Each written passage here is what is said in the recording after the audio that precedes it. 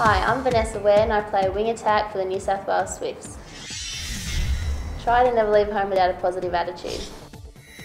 Oh geez, the only books I read are probably my university textbooks. It would have to be Kim Smith, she makes me laugh. Roger Federer.